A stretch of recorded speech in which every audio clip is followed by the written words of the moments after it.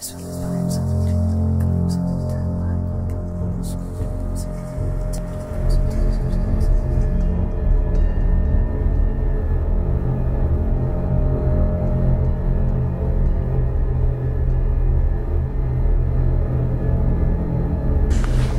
good evening ladies and gentlemen. Welcome to Chambercombe Manor. My name is Tony. I'm just going to quickly give you a brief tour around the house itself and give you some of the history of Chambercombe Manor itself. Um, while we go through the tour itself here, I, am not going to do anything in terms of paranormal. I won't mention any of our spirits. I will leave that all to your host later. So all I'm going to do is give you the history of the house itself.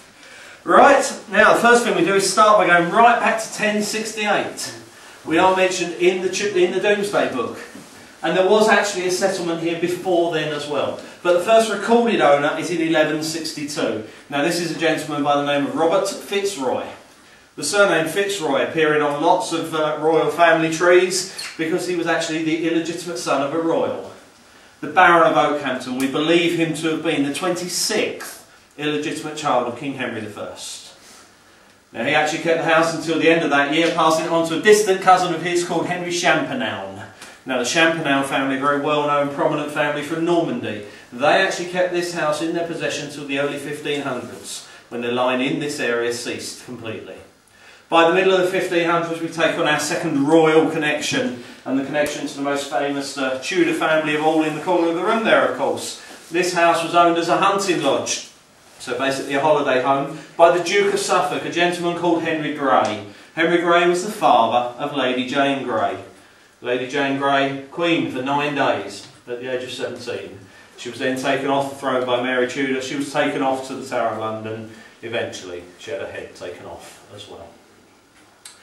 Now, the, uh, the rest of the Grey family went into hiding. They were classed as traitors, so the church took control of this estate next. At that time, the estate ran to something like 300 acres. The church splitting it up into lots of individual units. By the 1600s, the house had dropped out of status completely. It was owned by smugglers and shipwreckers.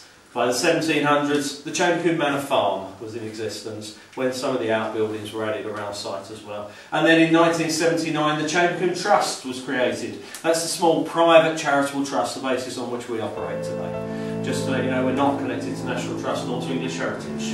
We are still governed by all the rules.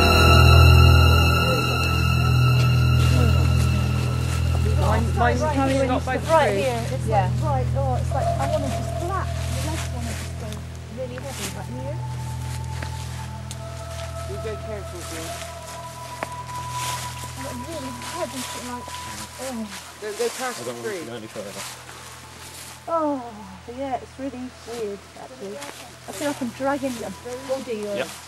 Oh, I can feel a body being dragged through here. Mm -hmm. It is, because it's really like, oh and it was a really mean, really, I just want to say a mean man, and just, and this boy saw the whole thing happen or something. This boy saw it, and he knew. He just knew. This man, he was wicked. He was wicked, man. I don't know. I don't know what happened. But every, everything knows. The trees even know. We're actually standing in an area here which is known to be a mass grave. It's where a lot of the servant children would just literally, if a servant child died in the house, they would just be brought out into this area and then just buried somewhere in this area. What we've got that's been surrounding us all the time is what we call the guardian of the souls. Now this, we say gentleman, he's he's not. Um, we call him an elemental. He's neither human nor animal. He's a bit in between people saw me earlier pointing to Chimpy Boy on my laptop. He's often seen, and Jane was doing it, crouching down. That's what I seen over okay. He actually appears almost like Gollum yeah. in Lord yeah. of the Rings. Like, uh, uh, yeah, that's what I, that's what I heard. And it's very throaty. And he's right behind you at the minute. Yeah, he's there. It's as if to say, keep away from the area that you're in. Now, sometimes he will actually appear here as very visible red orbs. Okay, red orbs danger.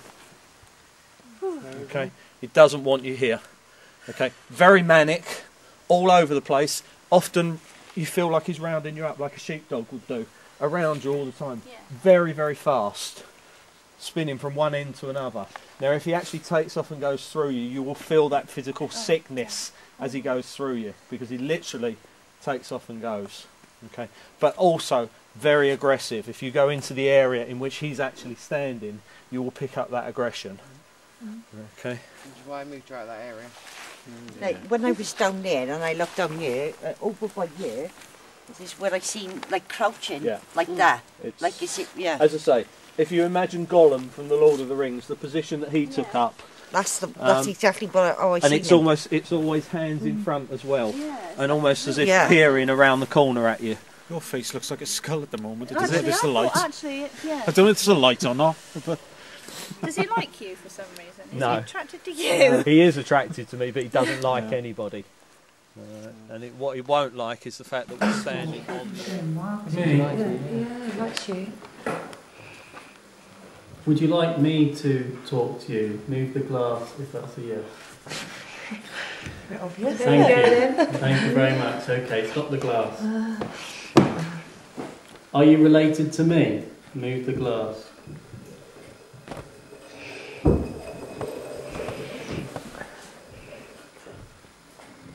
Thank you.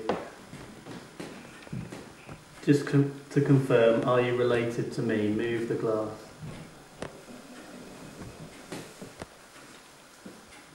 Look at it being. Maybe ask if it's male or female. Is that? Are you female? Move the glass if you're female. That was very small. Move the glass if you're. Move the glass. Your hands are amazing. I know. Move the glass towards me if you're male. Move the glass towards me if you're female. Any idea who it might be, Tom? Me. I'm Um, sorry, it's not Tom, is it?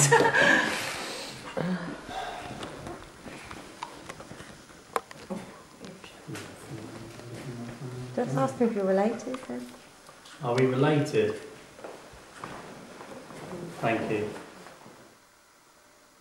Sophia, who else is in here with us? Are there's, is there more than just you?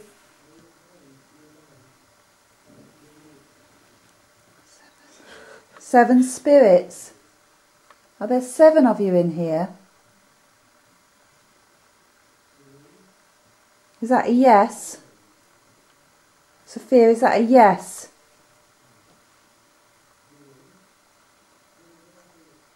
Are there seven people, seven spirits in here with you now? Is that a yes?